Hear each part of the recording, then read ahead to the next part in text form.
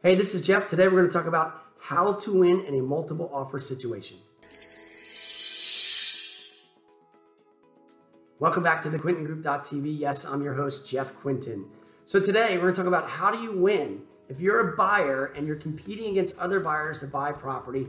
How do you win in a multiple offer bidding situation, an auction type of effect? Well, a couple points I'm going to go through here. Simply, you can email me and we'll send out the exact actual list step by step what you need to do. But here's a couple I want to highlight.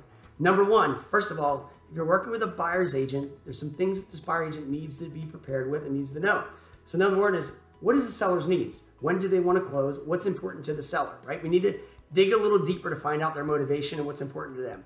Number two, you know, have the lender that you're working with, if you're getting financing, have your mortgage lender, okay, your loan officer, call the listing agent or even call the seller if it's possible and explain how great you are for the qualifications. All right, you're going to stand yourself. The, the whole thing is making sure you stand out among the rest. Okay, and you make them feel feel really good about selling the home to you. Okay. Next, look, this is important.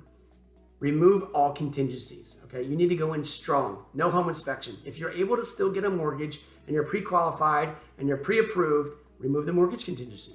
Okay, just don't make it contingent upon one. Go get one, but don't make it. It'll show as if you're not going to have a contingency or others. All right. Next, if you are going to get an inspection, home inspection, you got to shorten it, shorten it down. Five days at max. Okay.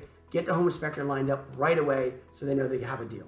All right. Next, which is most important, and I, and I see agents all the time not do this. Our agents do it we win. It's called an escalation clause. Simply, what you're going to do is write in the agreement that you agree to pay X dollars higher than any other offer provided.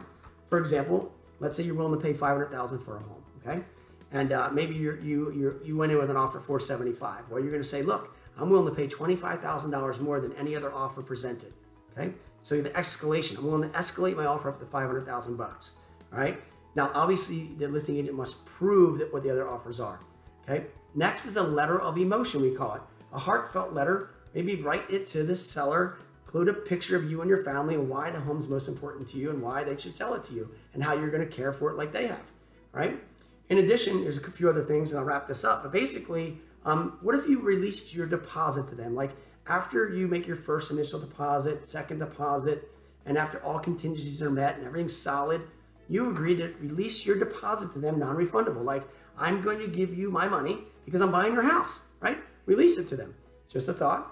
And then next is, you know, maybe you need to go ahead and show your tax returns, your proof of income, your two months bank statements, two months uh, proof of funds or two months pay stubs, whatever it may be. See, the seller wants to know that you're the best buyer for them, okay? And it may not always be that you're gonna pay the highest price, but you're the best buyer. So how to win in multiple situation right now with multiple offers, think about doing a few things here that will make you stand out among the rest.